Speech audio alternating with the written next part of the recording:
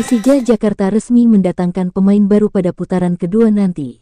Hal ini disampaikan langsung oleh Presiden Persija Jakarta yakni Muhammad Prapanca. Saya sudah berkomunikasi dengan beberapa pemain lokal berkualitas di antaranya, ada Greg Nwokolo, Adam Alis, Dimas Derajat dan juga Dendi Sulistiawan. Saya rasa mereka cocok dengan skema permainan Thomas Doll, tapi kendati demikian saya masih terus berkoordinasi dengan Thomas Doll, Siapakah pemain yang ia butuhkan saat ini, ucap Prapanca. Thomas Doll juga menyambut baik apa yang dilakukan oleh manajemen Persija. Saya harap pemain yang saya pilih nanti bisa bergabung ke Persija pada putaran kedua nanti, ucap Thomas Doll.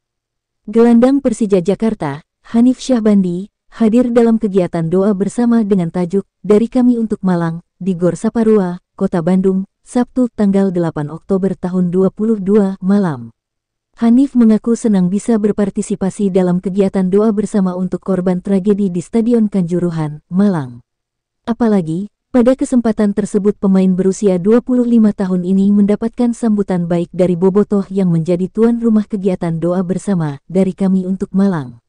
Sebagai informasi, pada kesempatan tersebut selain Hanif hadir juga dua pemain Persija Jakarta lainnya yakni Tony Sucipto dan Taufik Hidayat, serta gelandang Persib, Deddy Kusnandar. Kemudian legenda Persib, Adeng Hudaya dan Sujana. Acara sendiri dimulai dengan sholat maghrib berjamaah, kemudian dilanjutkan doa bersama, salat isya dan sholat goib, tausiah serta ditutup dengan saring bersama pemain, supporter dan tokoh sepak bola Jawa Barat.